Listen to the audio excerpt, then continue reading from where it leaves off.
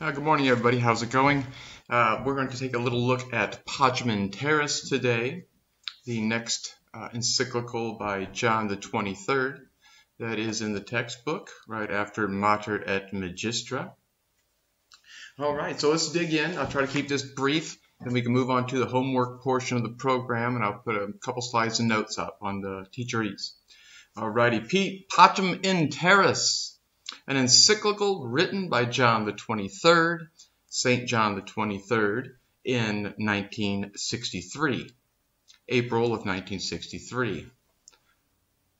So it's not an anniversary document of Rerum Novarum, which we all know was 1891. It was written to address the entire world during the difficult years of the Cold War. Think about the time we're looking at here. This document was written in 1963. We have the Berlin Wall coming up, uh, being built. We have the Cuban Missile Crisis happening. Um, so let's take a little look at the Berlin Wall portion first. The Berlin Wall, if you haven't studied this yet, had gone up in August of 1961. So this is uh, April of 63.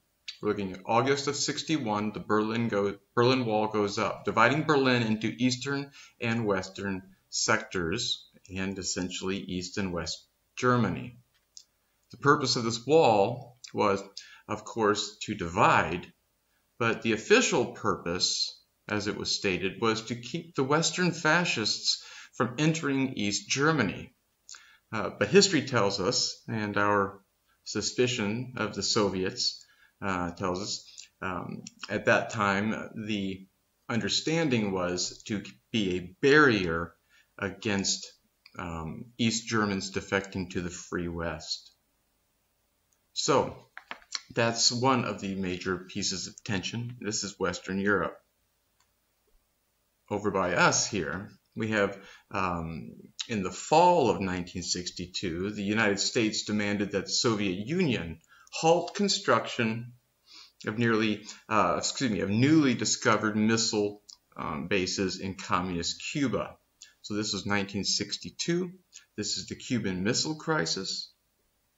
So this is going on. That's about what 90 miles from the U.S. shores. And the Soviets Soviets did not see why they should halt production in Cuba of these missiles and the Soviets pledged to protect Cuba in 1960. And of course, what we have here is since we have a, a communist and then very close to the interests of the United States, we have a standoff ensuing. So a standoff ensued, and the threat of nuclear battle was real, but uh, it was eventually diffused. And there's a really interesting story about the Cuban Missile Crisis and John the 23rd um, and his sort of intervention in um, helping these powers stand down from each other. So we have, as the naval powers faced one another, President Kennedy, who is a Catholic, the only Catholic president so far, sent a message to John the 23rd. The Pope read it and crafted a message and read it on Vatican radio. So we see President Kennedy reaching out to John the 23rd, perhaps to try to uh, see if he can do something to smooth this over. And here's what the message said that John the 23rd put out on Vatican radio. We beg all governments not to remain deaf to this cry of humanity, that they do all that is in their power to save peace. They will thus spare the world from the horrors of a war whose terrifying consequences no one can predict. That they continue discussions as this loyal and open behavior has great value as a witness of everyone's conscience and before history, promoting, favoring, accepting conversations at all levels and at any time, is a rule of wisdom and prudence which attracts the blessings of heaven and of earth. That's the message that was read by John the 23rd. So this next, the next day, this message appeared in newspapers around the world, including, including the Soviet Union. So this message gets out, and as it has been stated, um, this gave uh, Khrushchev, the leader of the Soviets, Khrushchev, a way out. The Soviets could look like men of peace if they removed their missiles and ships. And essentially, it looked like everyone was giving in together. And two days after John the 23rd's message, the Soviets left.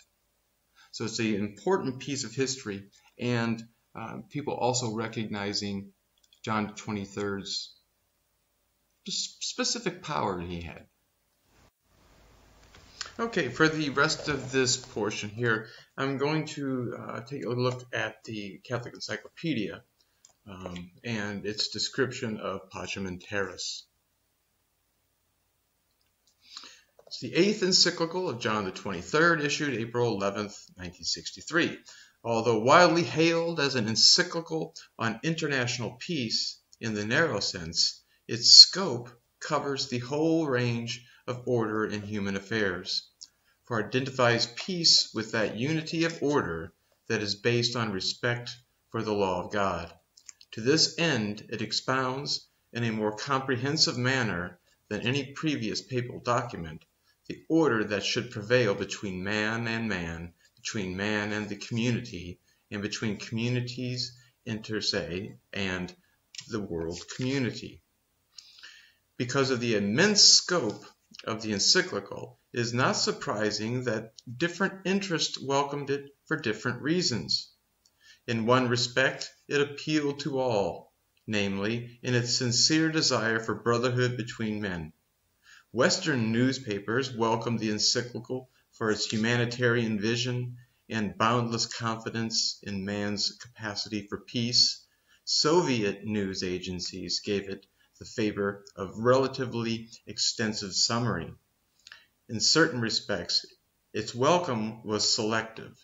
Some socialist sources praised it vaguely for positions already advocated by socialists, particularly internationalism, while the communist press headlined its plea for disarmament to the extent that the Vatican Radio felt it was necessary to issue a reminder that insistence on human freedom and dignity rather than advocacy of disarmament was at the core of the document. The first part of the document, uh, excuse me, the first part of Pacem Terris is built on the truth that order between individual men must be founded on the fact that man is a person. Such order consists essentially in respect for rights and duties that pertain to man entirely in virtue of his personality. In its second part, the encyclical presents the relationship between the individual and the state as basically one of subjection to authority, not, however, as an authority rooted simply in physical force, but rather one representing the coercive power of a moral entity. For this reason, the ordinances of human authority must be in accordance with the order of God's law. In the third part of the encyclical, it argues that states, just as individuals, are the subjects of rights and duties. These rights and duties are translated into uh, practical action by the persons who govern the state. For through these alone can the state be subject, subjected to the moral law. The fourth part of the encyclical urges the importance of interdependence between states and countries. Greater today than ever before, the collaboration that such interdependence stimulates puts an end to former ideas about absolute sovereignty and absolute national self-determination. The conclusion of the encyclical is devoted to pastoral exhortations. Catholics are urged to cooperate both individually and corporately with non-Catholics and even non-Christians for the advancement of praiseworthy social political ends. You see, John the 23rd, quite ahead of his time, but very, uh, it, it's a foundation for the modern documents. That's where we'll stop, folks. See you on the next video.